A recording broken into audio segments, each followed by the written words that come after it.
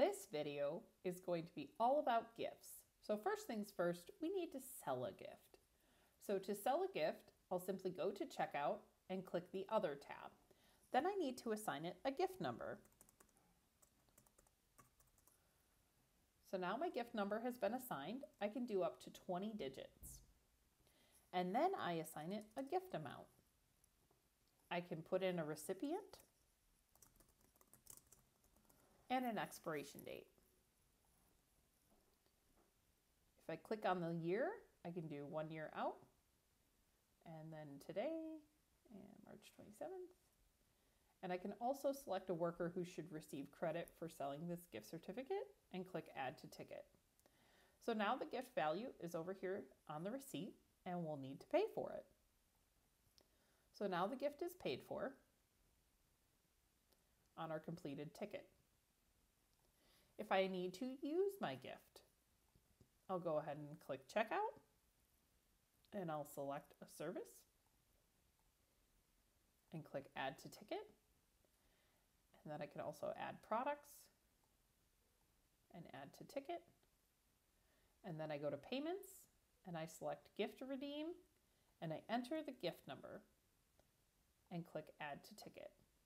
If the gifts have a barcode scan or a magnetic strip, you could use that, that also. Okay, so now we have applied $50 to our $100 balance on that gift card. Another function we have is to be able to reload that gift card. So to reload, I go to Other, I enter the gift number and the amount we'd like to reload onto the card and click Add to Ticket. It'll confirm that this card is in use and the current balance is $50. And it will confirm that I want to add that $15 to this gift card.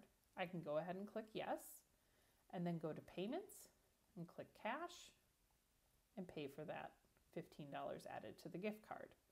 If I want to see the history of the gift card or more information, I can go to the navigation bar and hit gift balances or select gift balances from my home screen.